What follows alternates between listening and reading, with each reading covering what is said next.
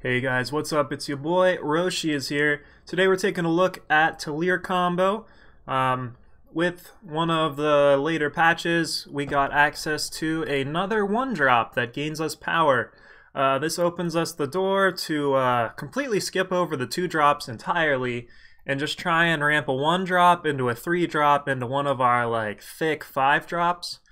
Um, I'm not going to go card by card this time. I imagine a lot of you have seen Talir combo by now. If not, I'll just briefly discuss the combo. You play Talir, um, and then while Talir's in play, you can play a Dark Return and bring back Aurelian Merchant. The Merchant will have Destiny, so it'll go into play immediately after you draw it, thanks to Talir. Then you grab Kairos. Uh, you can't cast him, but because, once again, we have Talir, Kairos will actually have Destiny. You'll draw him. He'll go into play. You'll draw six or however much if you've got a bigger guy on the board, but six is usually enough. Churn through your whole deck. Um, while that's happening, you are basically drawing power and spells. Uh, your hand will end up with like a bunch of Twilight Hunts, Sending Agents, Curtain Calls, Dark Returns, Time Etchings, and Power. And your board will just fill up completely um, you'll basically pop off, and in the process, each unit you draw is going to deal damage to your opponent's board or face. Even if they've got Aegis, um, this combo will just generate so much value that they can't win. Uh, you can also do it with time etchings. If you've got four time, which by the time we play Talir, we always will have it, um, go ahead and play Talir, exhaust it with time etchings, and just combo off with Kairos. You don't even need to have an Aurelian Merchant in the Void to do that. Um, the merchant's just kind of there for some extra market access and uh, consistency. So uh, other than that, we've got kind of Tokus to basically be Valkyrie Enforcer, bait against Horu Kira. Uh, if they don't have Valkyrie Enforcer, they will just lose the game.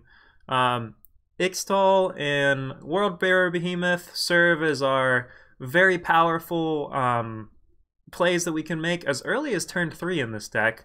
Uh, you'll have to have a pretty decent power curve out and you know one drop into three drop into five drop but these guys are very good at that. They both generate power themselves. Uh, Ixtal is actually very solid in this combo because by the time Kairos comes down Kairos actually gives you plus six power. So you're probably going to be sitting around like 15 or so power um, minimum by the time Ixtal is coming into play off Kairos so that's 15 damage to the face. Uh, that's going to kill a lot of people and a lot of things.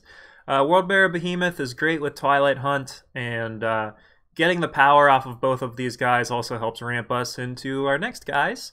Uh, Grodov Stranger enters and gives you the power immediately, which is very helpful, um, which you can immediately use to Twilight Hunt and uh, kill something, draw a card, and maybe shuffle some voids. Um, we are main decking Talir. You'll often see some of these decks sideboarding it, but Talir is just quite a good threat on its own. Um, the days of Turn to Seed have kind of, you know, occasionally people are playing it, but there's not too many. And uh, if you have it in the market, you have to play way more merchants just to like reach it from the market and do that. And it plays more like a combo deck than what I want to do. And this deck's basically a mid-range deck that can combo if it needs to. Um, it's not I mean, you will combo whenever you have the option because it just ends the game. But until that happens, you're just you're slamming threats and you're just playing things. And uh, when the dust settles, if you've got nine power and a Talir and one of your combo pieces, you should just win the game. Uh, so that's pretty much the deck for the sideboard. I have Swirl the Sands. This is for any sort of relic or curse they could play on us that stops us from like messing with our void or comboing out and uh, any pesky flyers we can deal with with this. Ancestral Oasis is just extra ramp. Um, sometimes we expect some of our uh, early game drops to die. So like let's say I go Initiate of the Sands and Aurelian Merchant, and I expect my opponent to kill one of these guys before the next turn. I'll actually grab Ancestral Oasis. This way I can slam this, and I'll get plus 2 power, and I'll still be able to play a 5 drop or a 6 drop. So this is one of the first grabs I usually take. Uh, next up is Grodov's Burden. This will end games on its own if it is not dealt with. Um, it is an insane value engine, and with all of the ramp we have, once you get to the point where you're activating this one or two times a turn, the game's going to end very quickly. Uh, Nash comes down and deals with our issues of not really having any other outs to flyers. Um, we can Twilight Hunt them and we can Sending Agent them and like try and race them with Curtain Call. But uh, in the main deck, we don't have any flyers at all. So Nash comes in and just completely shuts down that weakness. Whatever they've got on the board is just set back to the Stone Age.